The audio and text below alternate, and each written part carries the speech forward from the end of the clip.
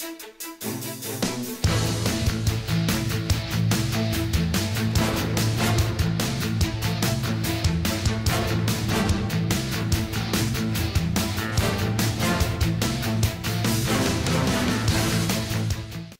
Hallo und herzlich willkommen zur Pressekonferenz des FSV Frankfurt vor dem Heimderby gegen den SVW in Wiesbaden im Frankfurter Volksbankstadion am Samstag um 14 Uhr. Hier vorne bei uns wie immer unser Cheftrainer Roland Frabeck, letztmals in diesem Jahr vor einem Spiel. Danach hast du erstmal ein bisschen Ruhe vor mir. Kommen wir zur äh, Ausfallsituation. Dennis Streker ja bekanntlich mit der fünften gelben Karte gesperrt. Ansonsten sieht es nicht gut aus für Sebastian Schachten mit einer Zerrung der seitlichen Rumpfmuskulatur und Ranisav Jovanovic mit einer Wadenzerrung. Ansonsten noch die drei üblichen Reha-Verdächtigen Leon Hammel, Naum Gebru und äh, Stefan Maderer steigen wir mit den äh, Fragen ein. Roland, du hast nach dem letzten Spiel in Bremen gesagt, man muss jetzt auch mal das Positive hervorheben. Auf die Defensive war Verlass, die Null stand. Wie lässt sich da jetzt drauf aufbauen?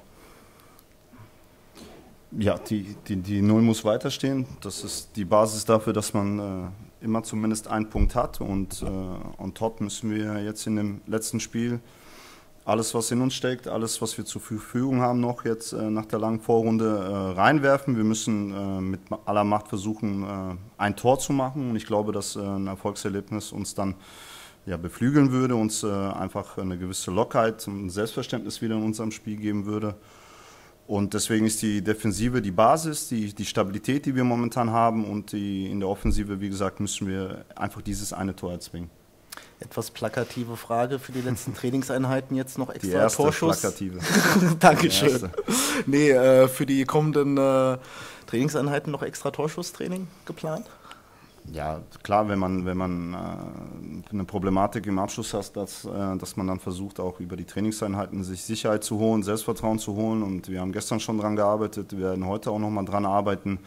Aber nicht nur, weil jetzt die Phase so momentan ist, sondern weil grundsätzlich halt eben das auch ein großer Inhalt in unseren Trainingseinheiten ist. Aber ähm, es ist jetzt vielleicht ein größerer Augenmerk eben in, auf die Abschlüsse, als, als sonst vielleicht vorher es gewesen ist. Jetzt steht das äh, Heimderby gegen den SVW in Wiesbaden an. Das Hessen-Derby für dich als gebürtigen Frankfurter vielleicht auch ein Stück weit was Besonderes?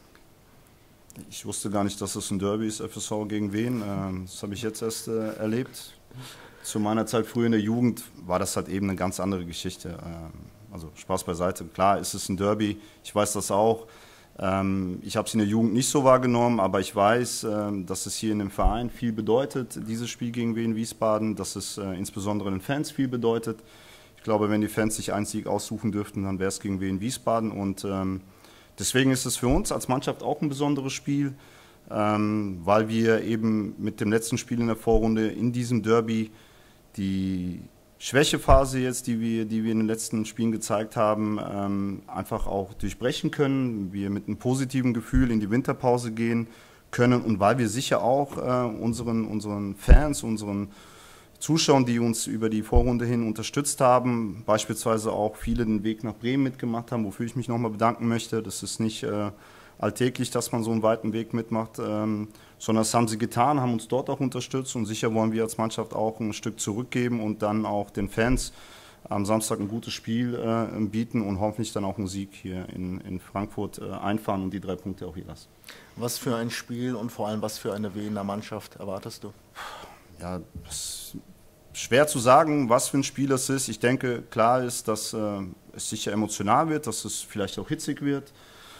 Äh, es ist eben Derby ähm, und ich denke, für uns wird wichtig sein, trotzdem auch äh, Struktur im Spiel beizubehalten, einen kühlen Kopf auch zu bewahren, aber auch sicher Emotionen reinzubringen, ähm, um dann ein gewisses Level an, an Aggressivität auch auf dem Platz zu haben. Ähm, für beide Mannschaften ist es ein wichtiges Spiel für uns deswegen, weil wir uns mit dem Sieg ja, im Mittelfeld etablieren könnten. Der, der Abstand zu den oberen Plätzen wäre nicht so weit weg. Wir könnten wen auf sechs Punkte Distanz halten, was auch nicht unwichtig ist. Und auf der anderen Seite kann Wien mit einem Sieg mit uns gleichziehen. Das wollen wir mit, äh, mit aller Macht verhindern. Und deswegen ähm, denke ich, dass es sehr emotional wird, dass es äh, zu, zur Sache gehen wird auch, dass es ähm, auch hitzig werden kann. Aber wir müssen trotzdem eben Struktur behalten und den Kopf bewahren, damit wir dann am Ende auch siegreich sind.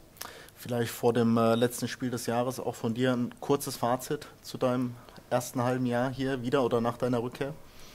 Ich denke, das war eine, eine Vorrunde der Extreme, absolute Extreme, weil wir ähm, relativ schlecht in die Saison hineingekommen sind. Ähm, wir haben das ja jetzt häufig auch schon thematisiert. Wir wussten, dass es schwierig wird, aber dass es dann so schwierig wird, war auch nicht zu erwarten.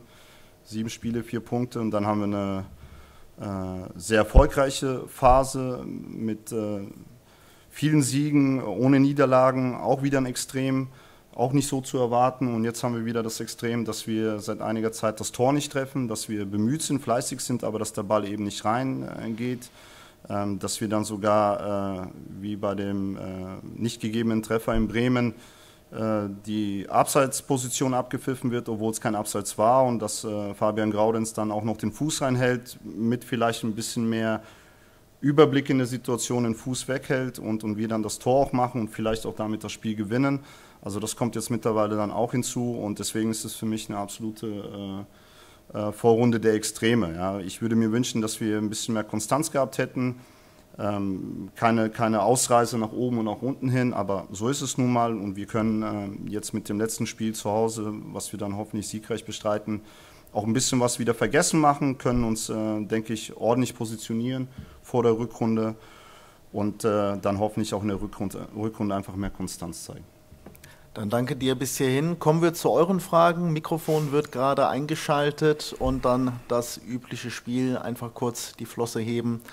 Und dann kommen wir auch schon zur ersten Frage. Wenn es denn welche gibt? Manuel Schubert, Frankfurter Rundschau. Ähm, du hast ja gesagt, ihr habt auch die Torabschlüsse trainiert oder hast da ein größeres Augenmerk drauf gelegt, aber inwiefern ist das auch eine Kopfsache vielleicht und wie kann man da dran arbeiten, außer jetzt auf dem, ja. auf dem Platz? Naja, klar, es gibt, es, äh, es gibt unterschiedliche Typen äh, in, in einer Mannschaft und äh, das ist bei uns genauso der Fall. Also es gibt auch bei uns Spieler, die sich jetzt vielleicht auch äh, unter Druck selber setzen, weil sie sagen, ähm, sie wollen es mit aller Macht erzwingen. Ähm, da ist es die Aufgabe von uns im Trainerteam, ähm, da ein Auge drauf zu haben und äh, in vielen Gesprächen dann einfach auch diese Gelassenheit, Lockerheit trotzdem herzustellen. Es gibt äh, Typen in der Mannschaft, die äh, tangiert das sehr wenig, die, die, die kommen auf den Platz und spielen so, als ob man vorher regelmäßig getroffen hätte.